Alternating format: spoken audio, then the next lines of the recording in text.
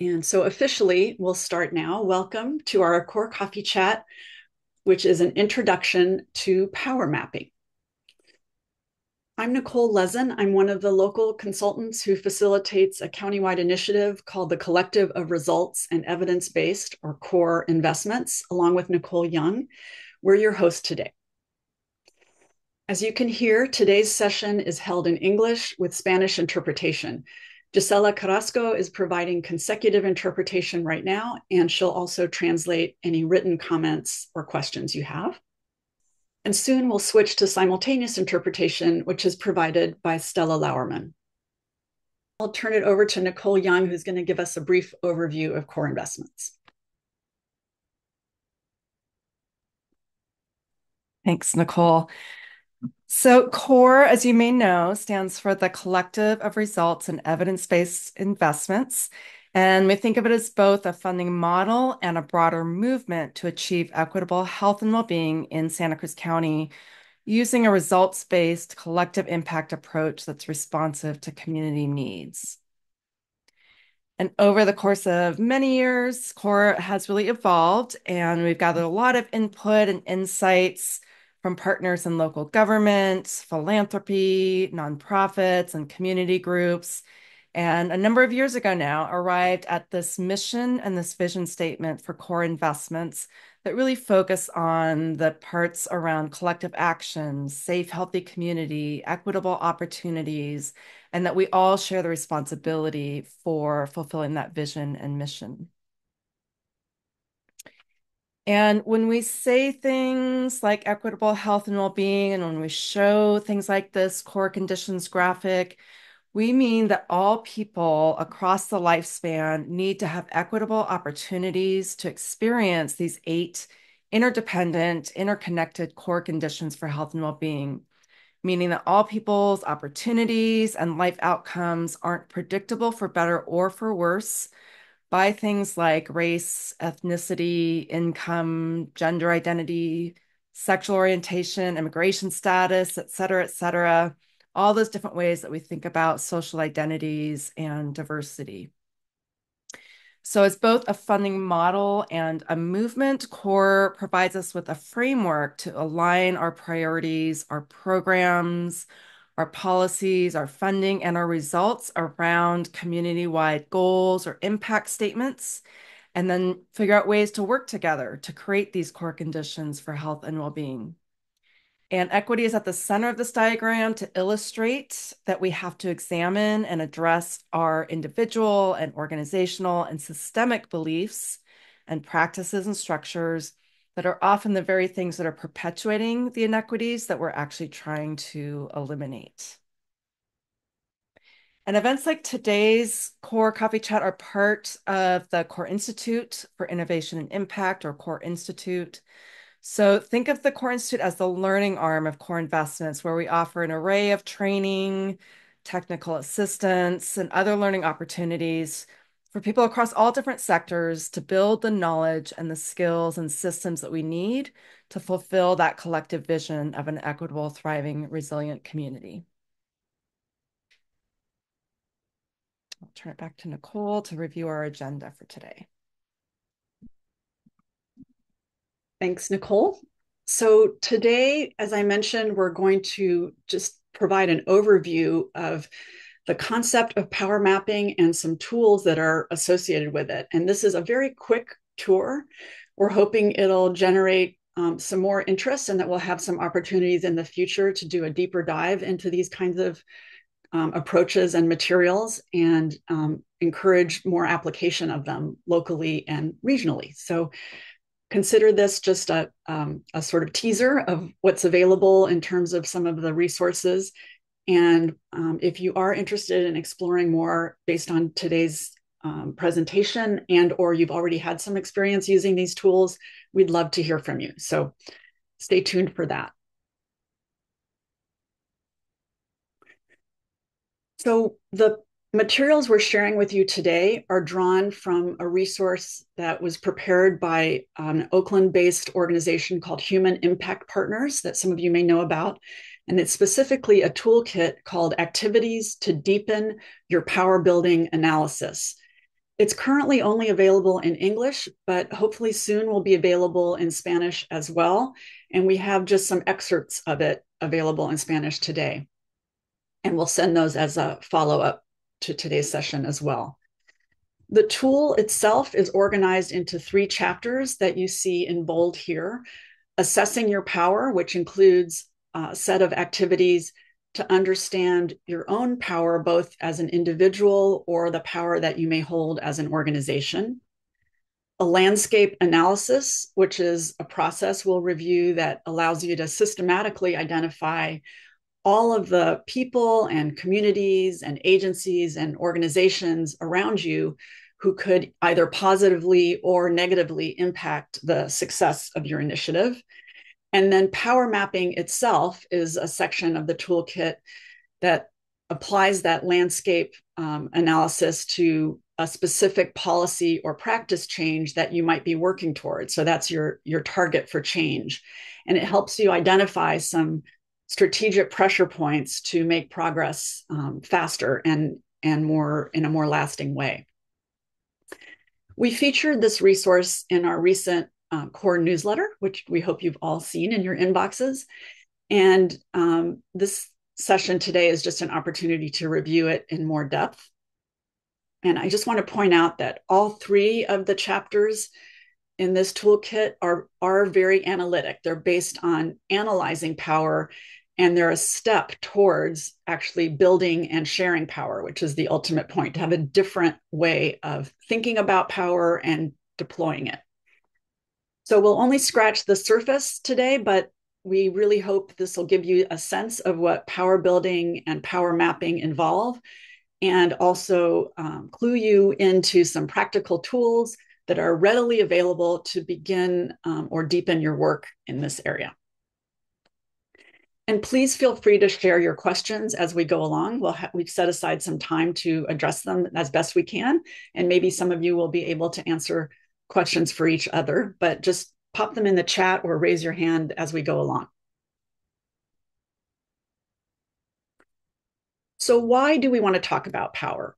Well, as Nicole mentioned when she was going over the, the core investments framework, there are systems and structures that lead to the inequities that we see around us. And a lot of these power imbalances um, and structural oppression are really the root causes of these inequities. So, unless we try to address those power imbalances, we don't really have as much of a chance to um, to change the, the root causes of those inequities. And it may seem obvious, but power is important to acknowledge and discuss because it's powerful. And we know that these kinds of imbalances and oppression, things like racism, patriarchy, capitalism, and others are root causes of so many inequities. These forces are um, interlocking with each other and interdependent, which makes them even harder to change. So, um, because these forces work together to maintain current conditions and status quos, they keep us from accessing the collective resources that we need to thrive and to live free and healthy lives. And because these power imbalances get so cemented over time, they often seem overwhelming and very hard to shift or even undo. And that's why this work is so important. It shows us how to understand power and work to change those imbalances in power. You may have heard the term upstream related to where we can intervene um, and focus our efforts because power imbalances and structural oppression are the most upstream root causes of the inequities that we're trying to change, they tend to be the most impactful sites for intervening. So, change starts with understanding our own power at the individual, team, organizational, and system levels. The Human Impact Partners Toolkit um, shares this great quote from Martin Luther King that power is the ability to achieve a purpose. Whether or not it is good or bad depends on the purpose. So just keep that in mind as we talk about power throughout this session. So, one distinction that is important to keep in mind is the notion of personal power versus collective power. When we think about power, we often think about personal empowerment, which typically means helping individuals to better navigate a system or condition as it is, in, in essence, to become advocates for their own situation. So, for example, a public health campaign might focus on how to empower individuals to make healthy choices like eating healthy foods or getting more exercise or quitting smoking. And the tool would be health education that helps people um, learn more about a, a, way to be healthier themselves. Or maybe um, some support could help people navigate a confusing maze like a healthcare system or an education system or a housing uh, system. So that's a step up from from just um, holding someone personally responsible for change. And supporting the empowerment of people to do these things is really important. However, it has limited impact, particularly for those who are most affected by inequities. So, for example, using our nutrition education idea, that doesn't really work if the person who's trying to receive that education about nutrition isn't paid a living wage and can't afford healthier food, or exercise recommendations aren't helpful for someone whose neighborhood has no safe outdoor green space or safe sidewalks.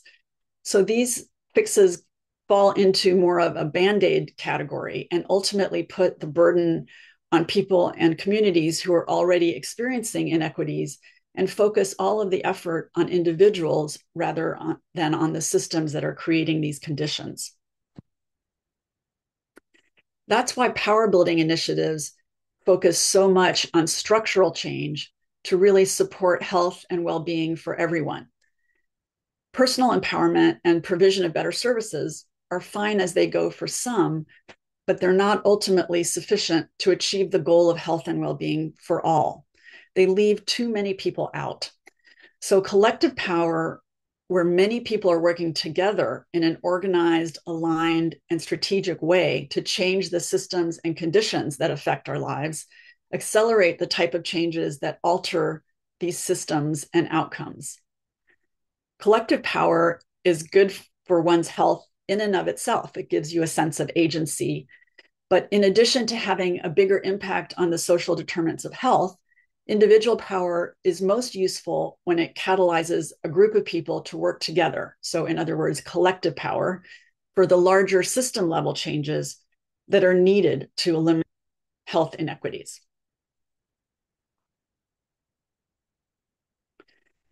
So, another way to think about power and how it's deployed is the, the um, idea of power over versus power with. And the, again, this is terminology from the Human Impact Partners Toolkit. We don't have to look very hard to see power over in our society. We see it play out all the time. This is when a select few groups have enormous capacity to shape our laws, to shrink government services, to control narratives, to repress legislation and policies and protests that threaten their hold on political and economic power. And even if we happen to gain access to this type of power, using a power over mindset in our work tends to perpetuate inequities rather than addressing them and changing them. In contrast, a power with framework accepts that power is actually infinite and generative. It's not a scarcity mindset or a zero sum game type approach. The more we share power, the more it expands in this view. And shifting to this mindset can help people work within systems and conceive of how to share power with community members and organizers. Sharing power creates space for centering voices of those who are most impacted by health inequities and can then shift the power imbalances that cause those inequities in the first place. But it can be a tough sell. The human impact partners and others call this an inside outside approach. And what we can talk more about that in a subsequent session. But it's the idea that within agencies and places that hold power, the um, the process of sharing power with outsiders can be hard to initiate and to sustain, but it's ultimately what keeps um, accountability going and helps efforts move further upstream.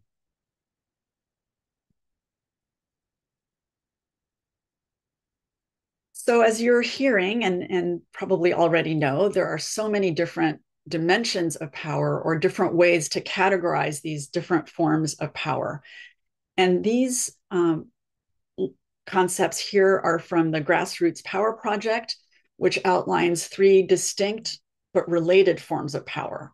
So the first that you see here is organizing people and resources to influence decisions. This is the form of power that's the most visible. It includes things like educating, advocating, lobbying, registering voters, particularly important this time of year, organizing campaigns to influence policies and elections. And this form of power tends to have a short-term uh, time frame, pretty specific targets. The second is power and infrastructure that aims to influence what's on the agenda. This is usually more hidden. It's used to influence which issues get addressed and who is sitting at that decision making table. So, actions here might include shifting or expanding the political agenda through building collective infrastructure and coordinating strategic alliances and networks that, that create uh, pressure and influence. This form of power tends to be more of a midterm or longer term time frame than the first. And then the third is shifting narratives and worldviews to, to try to shape what's possible. This typically is invisible or less visible. It's used to influence how people consciously and unconsciously interpret the world around them, shaping things like an ideology or an approach. Narratives impact what people see as problems and also importantly what they see as possible solutions. So the the way that narratives impact what people see as problems can um, can constrain what they see as solutions actions here include using communications to activate key values and beliefs and challenging dominant worldviews to shape the public debate. You may have heard us talk about framing in in prior um, core coffee chats and that's a lot of what framing is about is how to how to speak to common values and try to shape the discussion about both what the underlying issue is and how it could be addressed so again thinking back to that martin luther king quote power in and of itself isn't good or bad. It's what we do with that power that really matters. And so all of these materials are trying to get us to think more intentionally about the power that we do or do not have and how to build it and how to use it. So with that, I'll turn it over to Nicole Young, who's going to go over a few of the tools that are part of the toolkit. Great, thanks. And again, um, encourage all of you to check out the actual toolkit that uh, and Gisella posted the link in the chat. Maybe you can do that again, Gisella, for any of the newcomers, because there's so much rich content. And Nicole did a really fabulous job of summarizing um, some of the key concepts. But uh, I know for myself, when I was reading through it to prepare for this coffee chat, it really sparked a lot of uh, insights and ideas about sometimes how we talk about power and sharing power and whether we actually or how we actually go about doing that. And um, for me, I found it to be a really helpful uh, kind of reflection opportunity to think about, hmm, I walk in the talk. Uh, and you know, and uh, what are what are the ways that we can um, all do better at that um, collectively? Um, and I find too that sometimes I, I know I find myself in a lot of meetings where, you know, it's some kind of a um, change effort, collaborative effort, and oftentimes one of the questions that's posed to the group early on is something like, who's here at the table and who's missing? So it's kind of a power discussion, but without some of this analysis that we're talking about here. And so some of these tools that we are highlighting today are a way to remind us to, to, to go through those steps, to not take too many shortcuts when we do this kind of power analysis and power building because there's real value in doing things like this activity, uh, which is in the first chapter on assessing your power. Uh, it's around identifying your powers. And so this activity can be really valuable because it, one, because it acknowledges there are different forms of power. And so what you're seeing here on the slide are 12 forms of power that are uh, described and defined in the toolkit. Gisella's also posted a link to a bilingual handout that we created with Human Impact Partners permission, where we basically just recreated the table in their toolkit that lists each of the forms of power and the brief definition. And you'll see in the table, there's a column if you're doing this activity to then have a discussion about does your organization or your group that's working on some kind of change, do you have that form of power? And so it, this basically provides a structured way to engage others in your group or in your agency in an explicit discussion about the forms of power that your group or organization has or that you don't have. Um, and so again, we're just showing here all 12 of the forms of power. Um, we're not going to describe each one of them in detail today just because of the amount of time that we have, but just wanted to show them all here because when you think about these different forms of power, not all of them are always recognized as power or or that they are powerful. Uh, they're not always um, perceived as valuable forms of power, and so they can be um, kind of discounted or or minimized. And this is really reminding us that there are all different ways that each one of us holds power and can own that power and contribute it for some kind of um, change effort. Um, I like that. I like this reminder because oftentimes I also hear things like, especially in the, I want to say in the kind of human services world, that we're like, we tend to shy away from or not want to uh, be seen as like too powerful or exerting power over. And so we tend to try to minimize the amount of power that we have. Like oh i'm not i'm not the decision maker. I don't have power. But really this is saying like like it or not we all have one or more forms of power. And so again going back to that martin luther king jr quote it's not so much that power is a good or bad thing it's it's the it's the purpose and what we do with it that matters.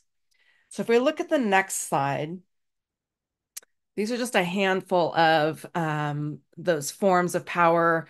So we'll just I'll just briefly describe them, but I want you to think about um, realistically and honestly, like which, you know, if you think about the group or agency you work with, which of these forms of power does your group or people in your agency have? So there's positional power is one of the examples, meaning it that that's power that comes from your organization's authority or the position it holds um, sometimes it it comes with a you know formal decision making authority. Sometimes it just has to do with visibility or kind of how you're perceived as uh, you know a group or or an organization that has again some kind of um, authority or uh, kind of validity that others might not have. And so the thing about positional power is that it's often overlooked by people that are in power that have that kind of power. Um, but the people that don't have that power are almost constantly reminded that they don't have it. Right. So position in terms of where your organization or group sits, how it's perceived, whether you have formal decision-making authority. Another type form of power is expert power, and this comes from the wisdom, the knowledge, the experience, the skills that people in your organization or your group have. Sometimes it's um, tangible, uh, demonstrable wisdom, knowledge, experience that like you can point to and say, and people can see where that wisdom and knowledge and experience comes from. Sometimes it's more hidden and it's not recognized or it's not named or it's not valued. And so sometimes the um, the in terms of building power, it comes from like naming it and recognizing it and valuing it and welcoming it um, from all different people in your organization. Another form of power is obstructive power. And so this is about your organization or your group's ability to coerce or change or block a particular action or decision, um, either through just kind of implied messaging, or maybe it's some kind of a threat, or maybe it's some kind of an action, you know, that you can that's demonstrated. And again, obstructive power could be used and I'm just going to use the words good or bad, right? Just to make it simple, it could be used for good, positive purposes or kind of negative, harmful, bad purposes, depending on where you stand on an issue, right? So obstructive could mean that you're using that power to actually block an action that you think will be harmful to a community. So that's actually using power for good. Sometimes obstructive power is used to just block something that someone doesn't like when actually that change, that policy, that program, whatever it might be, could actually be helpful to people. And so obstructive power, again, could be used for better or for worse. And then there's collaborative power. Um, and so that really speaks to a group's or an organization's ability to join forces with, to join energies, to uh, you know, share resources in partnership with others in order to work towards a common goal. So based on just those brief descriptions of this handful of these forms of powers, uh, which of these forms of power do you think the group or agency or coalition that you work with currently has? And so just pause for a second, encourage you to invite you to share your answers in the chat. Tell us, and it could be just one of these forms of power, it could be all these forms of power. Tell us in the chat when you think about the group or organization you work with and the type of work that you do, types of changes you're trying to create, what forms of power do you have? Nora says all of the above. Any other? Rocio says expert.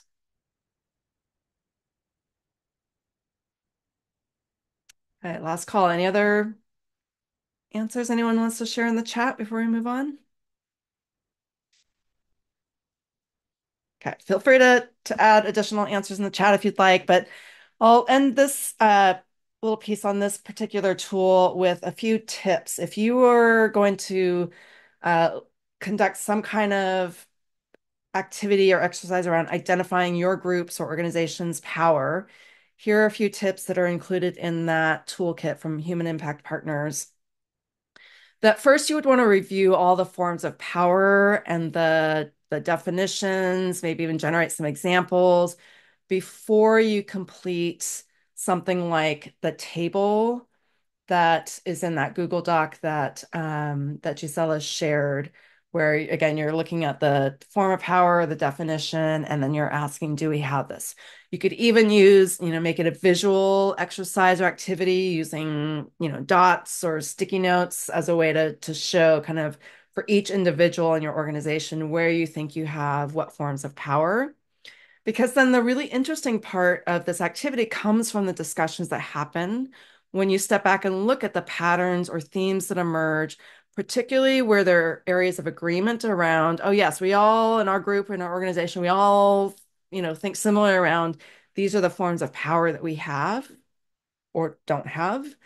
But also any areas where there's differences of opinion or disagreements about the forms of power that you have, because that says something. That might say something about the types of power dynamics that exist within your organization, um, different people in your group or organization may have different experiences. And so those are all really worthwhile things um, to flesh out. Because then you can have a discussion about how do we do more to share the powers that we have as a group or organization? How do we share those with others? And then really use that power with framework instead of a power over one. Okay, and Nicole's going to move us on to the next tool. Thanks, Nicole. So the next tool is um, the landscape analysis that helps you identify both potential partners and potential or actual opponents. So um, it's from the chapter of the toolkit that's specifically called landscape analysis. It's just a structured way to identify partners and opponents who may have an interest or an influence over the policy or practice that you want to change. So, the first thing that you need to do is to identify that change. So, what is your change target or goal? Is it a change in policy or practice? Is it to create a new program or perhaps a brand new coalition or a different coalition than something that's already in place? The more specific your goal is, the better, because then you can use these questions on this slide to help brainstorm a list of key potential partners and possible opponents. So you might want to, for example, ask who would be most impacted by the change that you have in mind and which organizations or individuals are already working towards this change. So maybe they're allies that you haven't connected with yet. Who has the actual decision making power to approve your change? and who's responsible for implementing it. And importantly, who holds them accountable for both the decision making and the implementation? Sometimes trying to influence the accountability part of this as opposed to the decision making or implementation part of it can be more effective as a pressure point. But this kind of questioning and discussion helps you try to identify where those levers might be.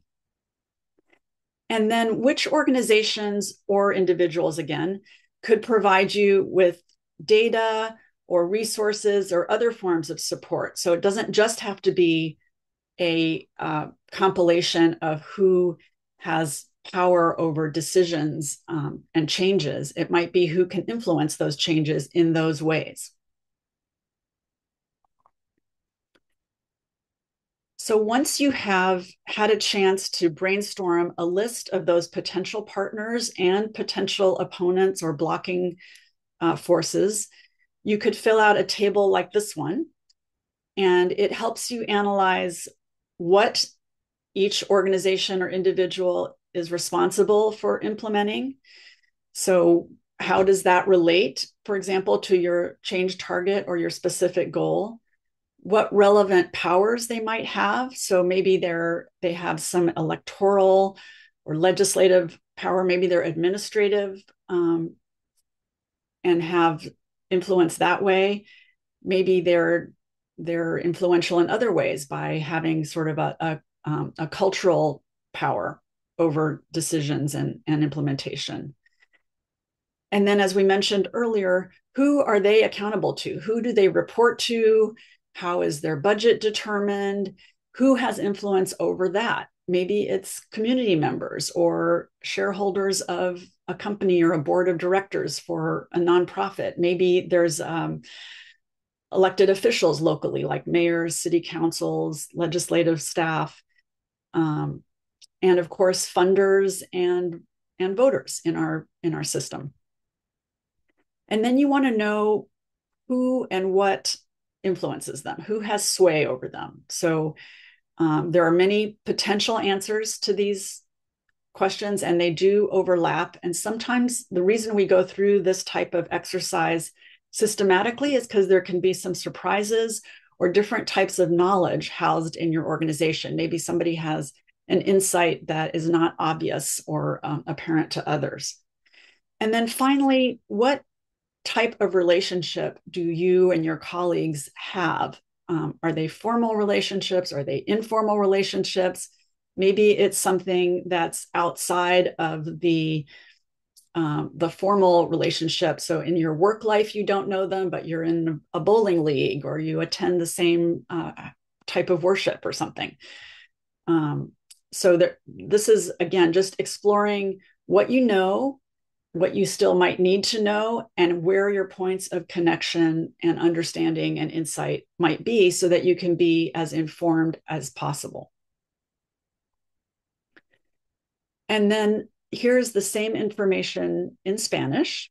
So, again, just looking at what the organization or individual implements, their relevant powers, who they're accountable to, who they're influenced by, and the nature of your relationship or your potential relationship with them, both formally and informally. And if you decide to do something like this activity, you might end up with um, something like this landscape web that is just trying to map out the connections that those lines are a little faint on this um, this diagram but you can see how this one is for a public health agency um, connected to all of these different potential partners and and sources of influence and accountability so there are different you can see that there are some professional relationships there's some as partners there's some client relationships there's some more informal partners. There's some um, groups that are required just to do the work that they're doing. So they're just different types of connections. But the first step is listing them out to see if you can um, then have the subsequent discussions about what is hidden behind each of those lines and how you can use them to advantage for the target, um, the policy goal or target targeted change that you seek. I'll turn it back over to Nicole for some more mapping advice. Okay, so assuming you've done the activities and some kind of analysis that are suggested in those first couple chapters of this toolkit, then you're ready to, to start doing some power mapping. Um, but even if you haven't had a chance to do kind of the full set of suggested activities leading up to it, you still want to have some discussion to prepare yourselves, your group, your organization for the power mapping. So that's uh, this last tool that we'll focus on here. Um, and power mapping is just really meant to help deepen your understanding of the power landscape. Again, the who, the what, the how, um, related to your specific change target or goal. Okay. So before you actually start doing a power mapping activity, you'll want to make sure that you've had a chance to discuss questions like these with your group, with your organization, um, especially if you haven't already done them through activities around identifying your forms of power and doing a landscape analysis. So getting really clear about what is your change target? What is it? What is the thing or person, right, that you're trying to influence or change? how does power and influence play out in the context of that change? So that's where that landscape analysis would come in handy to think through like, uh, you know, what are those dynamics that happen? What are the typical discussions or actions that that happen? Because that's really what you're trying to shift or change or disrupt. What does it mean to be aligned with your change target? Whether it's a policy change or again, a person that you're trying to influence or or kind of shift or shape their thinking that it helps to think through in advance you know what are the values and expectations or shared understanding that really are kind of underpinning your goal for change. And so what are the signs of alignment that you would be looking for would give you that sense of okay yes we there are others who are in agreement or working collectively with us versus you know getting that feeling you're always kind of um yeah butting heads or or in a tug of war.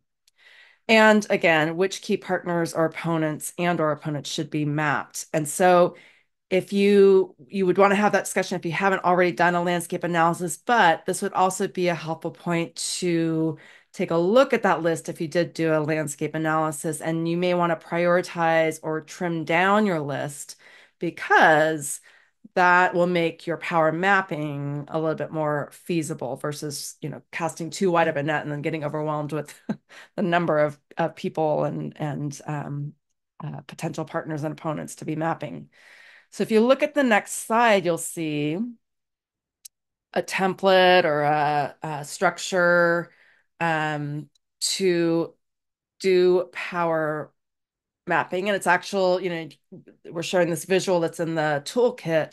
So you can see that you know you you'll want to use something like this grid that then um, has four quadrants. So you're thinking about what is the degree of power that each of those potential partners or opponents has that's that's why starting with fewer might be helpful before you expand. So what is the uh, degree of power that they have from very low, meaning that that that that person, that that group, that entity isn't on anyone's radar, so they have very little power, all the way up to that group or that individual or that entity has decisive decision making power or influence, so the very highest. So the power is on the vertical axis, the degree of support that that person or entity has, uh, again, specifically related to your change goal or change target, all the way from die hard against on the far left to die hard supports all the way on the far right. So again, think of that as a continuum there. So when you kind of look at the intersection of those um, of those two axes, then you end up with these four quadrants. So the top left quadrant mean represents high power, a lot of decision making power influence, but low support for the issue or change that you're trying to create means that that's a person or group that has the potential to, to derail your change efforts. And so you might not be able to completely change everyone's minds, but it's definitely worth kind of keeping track or staying up to date with what their actions and messaging or arguments are. Depending on how strongly they oppose what you're working on, it's, you know, you may find there's room to gain some buy-in, shift their support, right? If you look at the lower left quadrant, low power and low support. That's if you're finding that you're, as you're mapping, kind of figuring out where people fall, you know, your potential partners and opponents, where you would place them in these quadrants. If you're finding that there are people or groups that fall in this lower left quadrant, low power, low support, that's probably a group or a or set of individuals where you don't need to spend much time trying to influence them uh you know, try to change their minds because they have low power, low support, your energies are better spent somewhere else. The quadrant in the lower right, so low power, low to, you know, moderate power, eh, but high support for your issue or your change target means that's a group that would most likely support your goals. And so you want to explore ways to collaborate with any potential partners and maybe even possible opponents to figure out are there ways to collaborate to build collective power and grow influence. But really, that top right quadrant, high power, high support, is where you really will find your strongest partners. You'll want to look closely at how you build power, share resources to achieve your goals. If you have to choose where to prioritize, where to focus your efforts, right? That green box, that green quadrant is where you'd want to focus. So we have this power map example here in English, and then the next slide you'll see it's in Spanish. So you'll see that we've translated portions of the toolkit for today's coffee chat soon. Um, uh, the, the whole toolkit we think will be available in Spanish. And so let's say you've done this kind of mapping exercise as a group, you know, again, you can use visual techniques like using you know, sticky notes to, you know, write a name of each potential partner or opponent on a sticky note and figure out where to place them on your map. And then you have discussions to help you make meaning of that. Right. So, who, as you look at the results of your power map, talk about things like who should you consider shifting from one quadrant to another or, you know, along an axis? Who should you consider shifting and why? And in what way do they need to shift? right? Are you trying to increase power or increase support? And what would it take to shift them? And if you, again, if you've done the earlier exercises and analysis, you'll be much better positioned to have these kind of discussions to make meaning of your power map. Again, a few tips if you decide to do this on your own. These are some tips from, again, the Human Impact Partners Toolkit. They actually say that power mapping should take no more than two hours like that actual exercise of placing on those quadrants. It's assuming that you've done some of the analysis, the other activities beforehand, but if you find that it's taking the actual mapping process, if you find that it's taking longer than two hours, it may be that because there are things like, you know, your change target was too broad. Like you kind of like it's too broad in general. And so you need to choose a more focused change target so you can get really specific and concrete it helps you prioritize your list of potential partners and opposition for the mapping activity. Because if it's too extensive, if your list of partners in opposition is too extensive, it just, it can get really unwieldy. Um, if it's taking a long time, it might mean that you have too little knowledge of the partners and opponents. So you need to go back and do a little bit more research or do research ahead of time. Um, or your team might not have full agreement or shared understanding of the meaning of power or alignment in relation to your change target. And so again, on the front end, if you can do it, make sure you build in time to build those team agreements on power definitions ahead of time.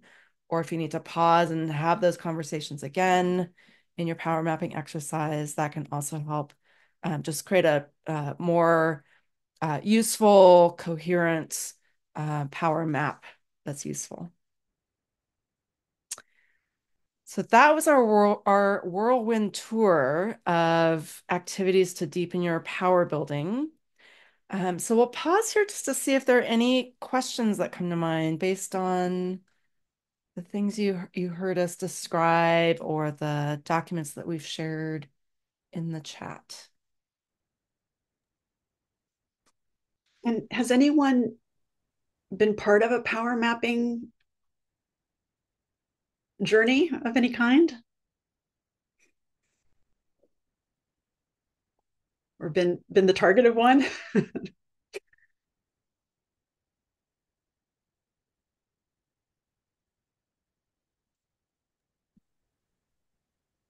I'll just show that I I know I've both participated in and led some power mapping activities, but they're very they're like standalone activities. It's kind of like mm. a do it for the purpose of learning a process or a tool, but not necessarily as part of a, um, you know, actual plans initiative or structured initiative. And so I know that to me, that was one of the really valuable things of understanding, you know, the toolkit and how to use it and maybe think about things in a different way.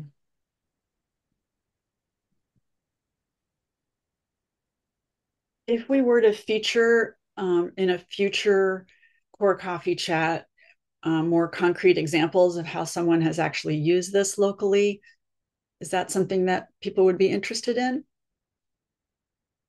Rosa says yes, thank you. Nora too. Up. Great. Mm-hmm. Okay. And if you know of a particular example, um, we are happy to explore that. I'm curious, um, again, knowing that we went through some really uh, uh, nuanced, rich content in the toolkit in a very short amount of time. I'm curious, do um, do any of you feel like you're likely to go back and look at the toolkit and and try out some of these exercises or activities on your own in your own projects or programs? Do you see yourself using any of these tools?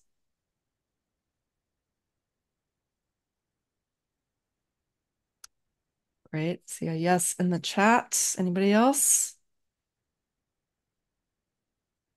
Oops, some thumbs up. Great. Nice. Okay. Any other and does any, any other questions before we move to our wrap up and highlight some of the upcoming and core events? Okay. So coming up in October, it's hard to believe that uh We're already at October. Uh, we have two events, two core events scheduled for October. October 8th is one of our joint trainings with DataShare Santa Cruz County. Uh, we're going to be focusing on understanding demographic data and particularly the demographic data that's available in DataShare. Some of you have already uh, discovered it and may have even used it, especially for recent core funding applications but we'll also talk about kind of, you know, really how do you make sense of the demographic data that's on there? What are some tips and caveats for, um, you know, using disaggregated data by things like race, ethnicity, gender? You know, what do you do when data isn't available because the sample size or numbers are too small? So a lot of, uh, we hope, practical tips uh, in that training. And then October 15th, you, some many of you may know October is Domestic Violence Awareness Month. Um, and so we have Walnut Avenue Family and Women's Center and Monarch Services will be our guest presenters sharing some of the current thinking and approaches to, to domestic violence prevention and responses, and uh, as well as some of the events that they're both hosting in October. Uh, so Gisella has posted the link to the core events page in the chat. That's the best place to find the descriptions and the registration links. We'll also be sending out the October core newsletter next week. Um, so you'll see that there as well. And then last but not least, we ask you to share your feedback with us about today's core coffee chat. You can either click the link in the chat. Um, it's a bilingual survey, but you can either answer it in English or Spanish, um, or you can scan the QR code if you have a smartphone with a camera and you can fill it out online. We really appreciate feedback. We always look at it and pay attention to it and use it to help us think about ways we can continuously improve our core events.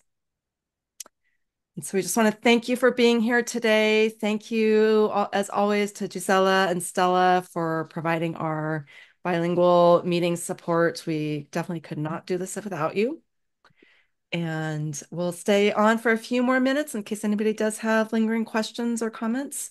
Otherwise, we are done, officially done with this session and uh, just want to say good to see everyone and hope to see you again at a future Core Institute event.